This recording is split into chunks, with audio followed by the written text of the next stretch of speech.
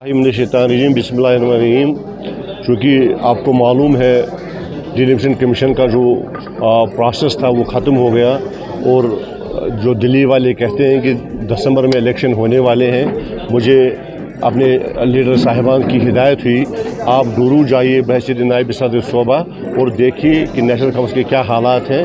उसी ज़मन में मैंने अपने वर्करों से गुजारिश की कि हम यहाँ आएँ हम मिल के बैठ के डिस्कस करेंगे कि क्या मसला है कि हमने तीन बार डूरो हारा और अब की बार जो जो आपने देखा हमारा जोश वलवला यहाँ के वर्करों का अगली बार यहाँ नेशनल कांफ्रेंस का कैंडिडेट जीतेगा वो जो भी होगा। सर देखिए नेशनल कांफ्रेंस का जो एक तहरीक हम चला रहे हैं इसमें मैं भी एक वर्कर हूँ वो भी वर्कर है। हम हम में से कोई लीडर नहीं है।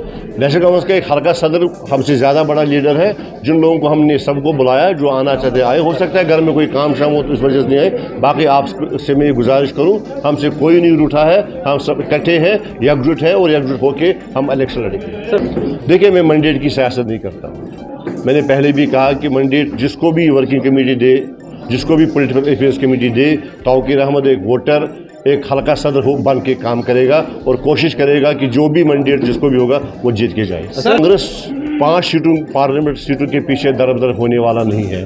उनको मुल्क सियासत करनी है। हमने उनको भी पहले डीडीसी में दावत दी थी। आए बेईमान हो गए दो दिन में जब पूरे हिंदुस्तान में शोर बचा कांग्रेस पीएचडी का पार्ट बना कांग्रेस छोड़ के वो पीएचडी छोड़ के चले गए। मेरे नज़र में मैं एक छोटा सा ऐसी वर्कर हूँ। कांग्रेस अब की बार अलायंस पार्टनर नहीं बनेगा और और हम अगर ऐसी कोशिश हो हो भी जाए तो हम हम उसकी मुखालफत करते हैं। देखिए अगर आप कश्मीर के हालात देखते हैं अगर आपकी बार भी हम इकट्ठे नहीं हुए तो अभी तो आपने देखा फलाम स्कूल बंद हुए बाकी चीज़ें तो आपने देखी और इससे भी हमें बुरे दिन देखने हैं अगर कश्मीरी आज एकजुट होकर दिल्ली वालों का सामना ना करें। शुक्रिया।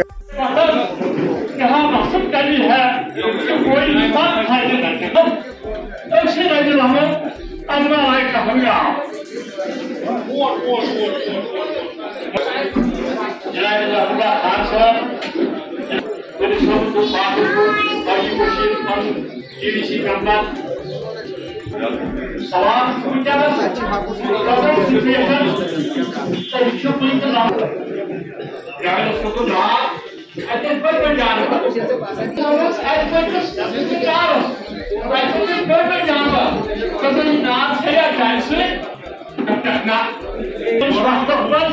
Yine kavralar bayramı mıydra? Gel bayramı mıydra? Hepsi var. Saklıyor.